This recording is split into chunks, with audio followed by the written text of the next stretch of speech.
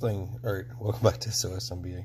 And I know a lot of you are probably wondering if, you know, if you could tell time, if you could figure out what date it is uh, during the apocalypse. Let's pretend an EMP has went off and everything's shut down, or just the grid's down completely. Someone took out, someone um, uh, took out some hardware and we no longer have power or whatever and for whatever reason, you know, the clock stops and you want to know how to do stuff differently, and this is a good option for that. Now, these you can pick up online anywhere. I have a, there's a really good example right here. This one's a really good example, and it's a better size. This one is, it's cool, but uh, I, I don't like it it wears easy. And if you're going to have some, this one is a, I believe a, I have to pull over here. Let's see if you can, I'll pull it over so that you can read what I read. See, that is a 50 year, is it 50 year? Yeah, 50 year. Can you see that? Right there, 50 year. This is it right there. Okay, 50 year calendar. It's a sailor's calendar. sailor's calendar, right? So that you can you can still figure out what date it is. Now, you just spin the dial. You spin the dial to the month, to the year. All right, you take your month, and you'll get your exact calendar. Hang on, I'm gonna pull it so you can see it because I'm, I'm pretty sure if I zoom up like this, you might not see what I'm seeing. There you go. All right, you'll look to February over here, and you'll line that up with 2021. And then you'll come down here, and today's date, the date that I'm making the video, would be Monday the 8th.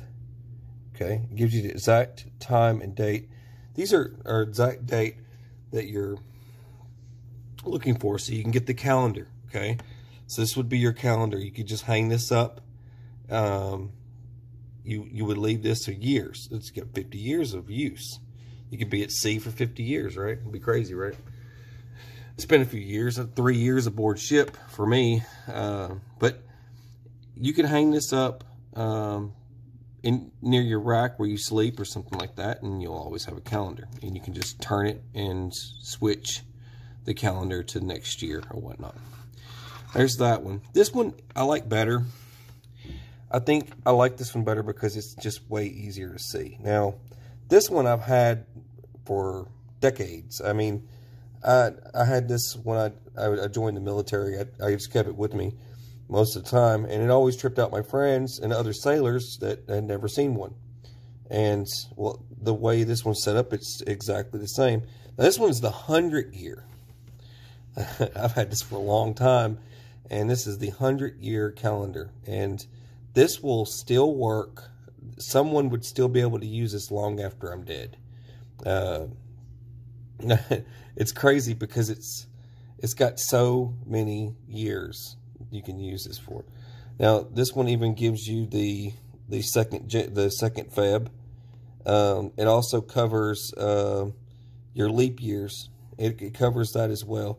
And coming down here, you have the exact calendar as it would appear on uh, on a calendar that you would get from someone else. Same thing, and it's really neat. You just give it a spin, put it on the year, and that's it. Just like that. Twist it till it gets to where it needs to be, and then stop it, and there you go. There's your calendar. So, I had to bring this out just in case I need to show you for that.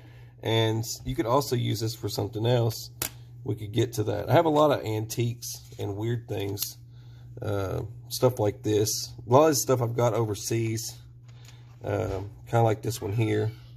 Different places that I'd been or wherever I picked stuff up. While one of my favorites, you gotta have a you gotta have a compass, right? This is just one of my favorites I've had for years. You lift this up, and you get your sight, sight alignment, and you've got the compass will work when it once you lift it up. And if this is a really useful item to have, and you got to have something that's strong and won't break. I've seen some, seen some of these are like plastic. They're like toys. Anyway, so something like this, it will last a lot longer than most. That's the reason why I have it. And plus I like collecting things that are brass for some reason. I don't know. Here's, this gets me onto, oh shit. Should I show you this now? This gets me onto the telling time with the power of the sun. Um, this is another useful tool for telling time. And now you would have one of these aboard ship. You could keep this uh, above deck and you look out and get your, you can set this right on the deck. It, some people just leave these outside. Uh, they'll make a nice little, you know, contraption to hold them and, you know, level them up and everything and, and make them all nice and pretty and stand them up. But anyways, uh, apocalyptic times, you could do these things on the ground.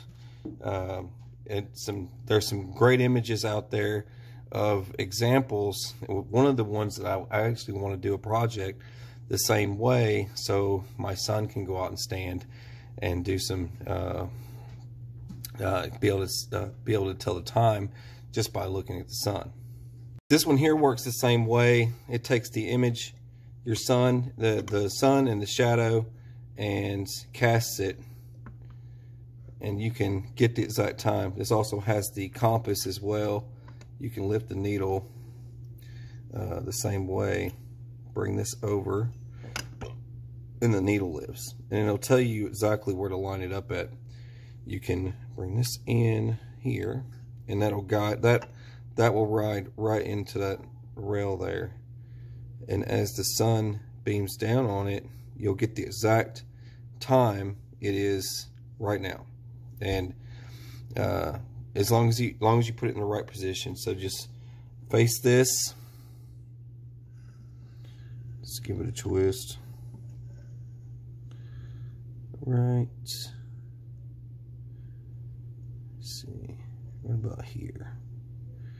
And then try to get your time and the light will come in and it'll beam down and it'll give you the exact time that it is. And there you go.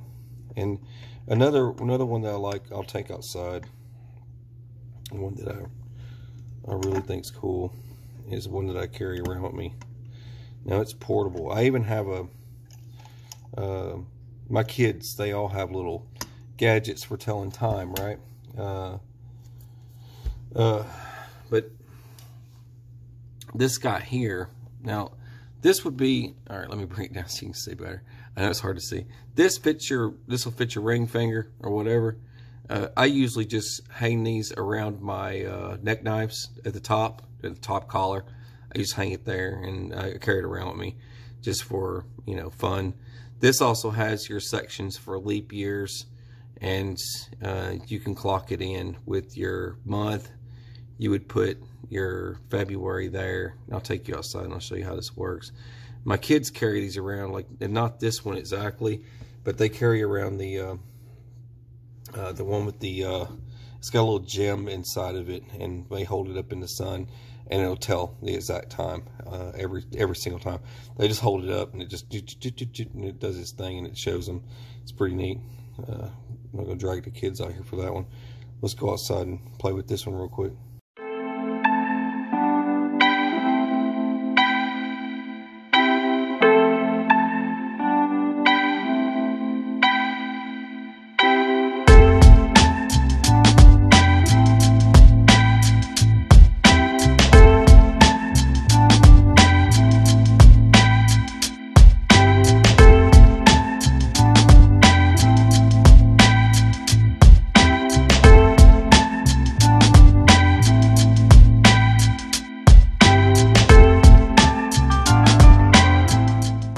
See, but the way this works, if you you line the hole, that's for the sun, put it on your month, it's February, right?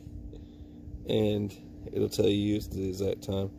And it's, you just point it directly at the sun, get it exactly at the sun, like that. And it says it's 10 o'clock right now, which is, it is 10 o'clock. Uh, but yeah, it'll tell you the exact time.